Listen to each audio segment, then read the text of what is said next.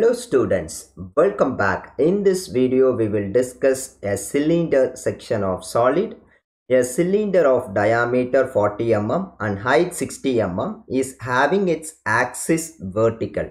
It is cut by a plane perpendicular to VP and inclined at 30 degree to HP. The plane bisects the axis of the cylinder.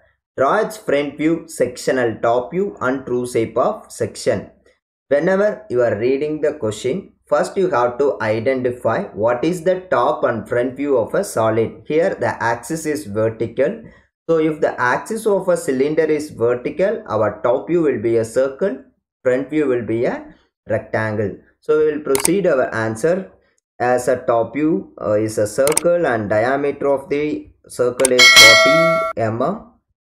Then you can divide the circle into 8 divisions even you can go for uh, 12 divisions for better uh, result better accurate answer in the uh, true shape of section. So i'm preferring uh, 8 divisions.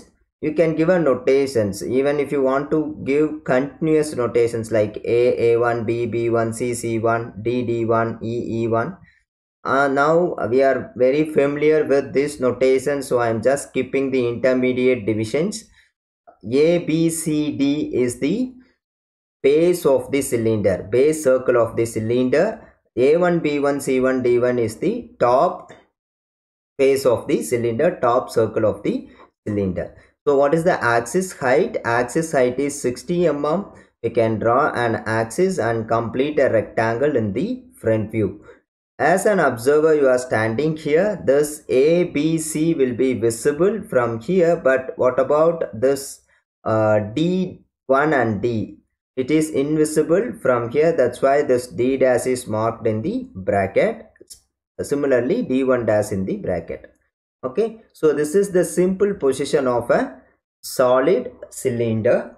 Now we have to read the condition of section plane. Keep it in your mind. Always draw the simple position in thin lines. Now I know the answer this entire circle going to be visible. That's why I started with a thick line.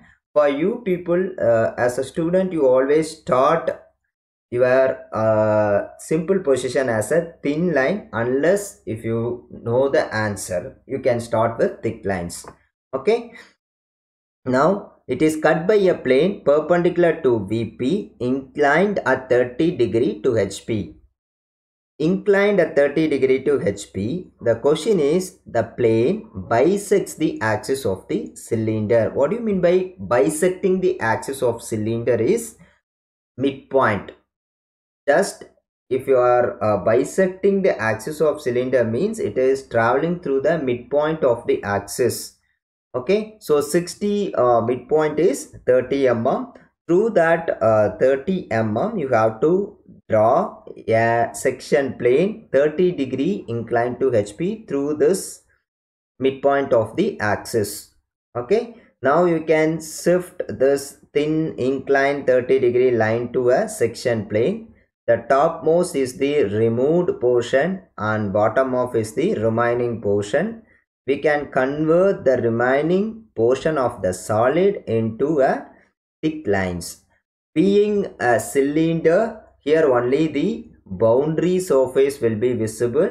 There is no intermediate edges. It is purely for our convenient we divided into two number of divisions. So don't uh, convert this intermediate projectors into divisions into thick lines.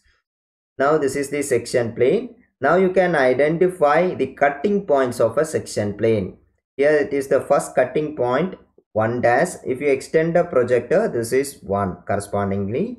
The next cutting point of a section plane is here on the axis. On the axis this is nothing but uh, b b1 dash.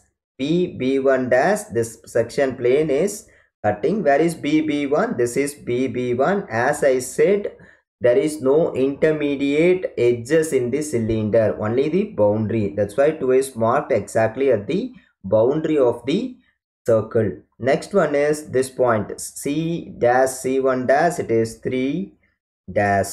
We extend the projector correspondingly it is 3 then uh, once again we are having one more uh, side like d1d on the axis. So we can make it as 4 dash. It is invisible from here. This d d1 is invisible from here in the front view.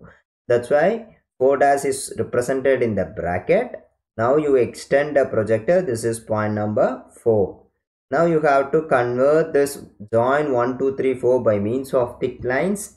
As i said already i aware of the answer that's why i started with a thick line in the top view now we can do a hatching and we can complete sectional top view this is our sectional top view of a cylinder.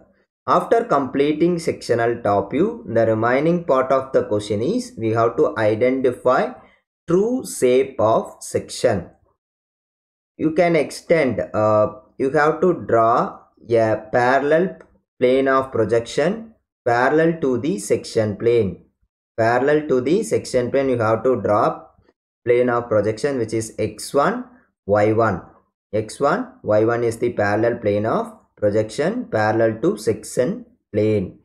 Then you extend the perpendicular projectors. You must ensure this blue line. This perpendicular projector must be right angled to this x1 y1 90 degree to this x1 y1 from each and every cutting point of section plane you extend a perpendicular projector. After extending a perpendicular projector you have to convert this uh, cutting points of section plane on this perpendicular projectors. This is one dash projector so you can keep this point as center and this one distance as radius. This point a dash as center one as radius keep your compass here and fix where is 1 1 okay next point is 2 dash so 2 you have to measure the distance from xy from xy what is the distance of 2 and reproduce the same distance on the 2 dash projector Likewise, from xy, what is the distance of 3? On the 3 dash projector, you have to complete 3, 1. Finally, it is 4.